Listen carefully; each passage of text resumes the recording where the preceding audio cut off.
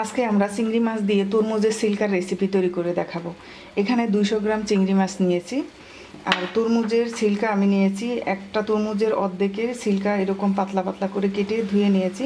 তরমুজের যে এক পাশে সবুজ আর এক পাশে লাল অংশ থাকে, এই দুটাই কেটে আমি এরকম সাদা অংশ বের করে নিয়ে এই পাশ থেকে এরকম পাতলা পাতলা করে কেটে ধুয়ে নিয়েছি। এগুলোকে আমরা এবার সিদ্ধ বসিয়ে দেবো।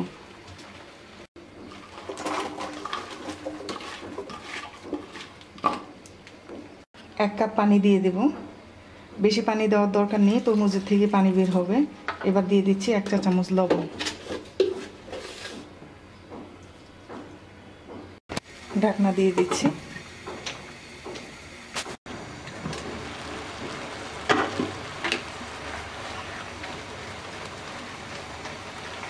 সিল্কা সিদ্ধ হয়ে গেছে, এবার নামিয়ে পানি ছেঁকে নেব।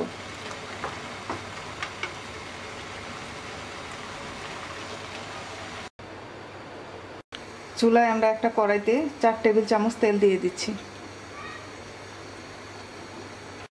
তেলটা গরম হয়ে গেছে, দিয়ে দিচ্ছি দুটা পেঁয়াজ কুচি। পেঁয়াজটাকে হালকা ভেজে নেব। পেঁয়াজ হালকা ভাজা হয়ে গেছে, এবার এর মধ্যে চিংড়ি মাছটা দিয়ে দিচ্ছি। চিংড়ি মাছটা হালকা ভেজে নেব।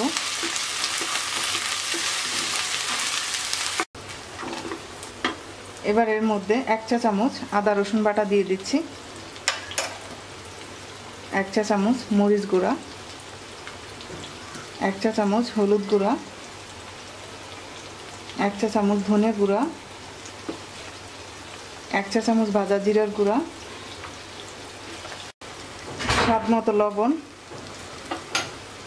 অল্প একটু পানি দিয়ে চিংড়ি মাছটা কষিয়ে নিচ্ছি।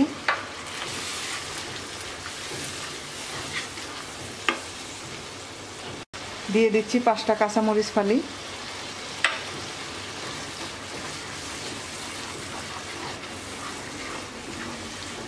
চিংড়ি মাছটা কষিয়ে নেওয়া হয়ে গেছে, এবার এর মধ্যে তরমুজের সিলটা দিয়ে দিচ্ছি।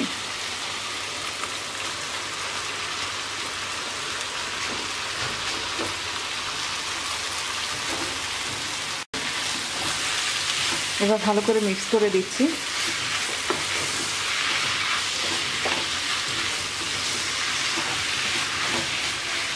এবার ডাকনা দিয়ে মিডিয়াম লো হিটে দশ মিনিট রান্না করব। ওই দশ মিনিটের মধ্যে দু তিনবার আমরা ডাকনা খুলে নেড়ে ছেড়ে দেবো।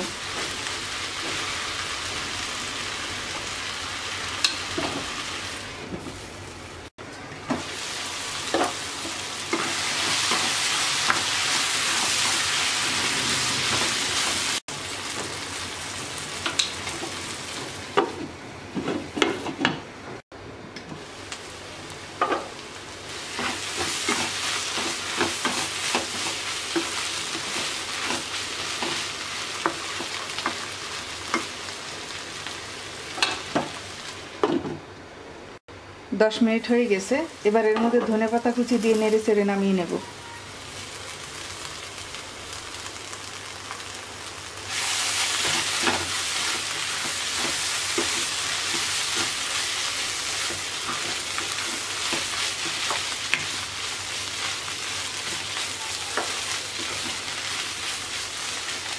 তৈরি হয়ে গেছে চিংড়ি মাছ দিয়ে তরমুজের সিল্কার রেসিপি আশা করি আপনাদের ভালো লাগবে। আজকে এই পর্যন্ত সবাই ভালো থাকবেন।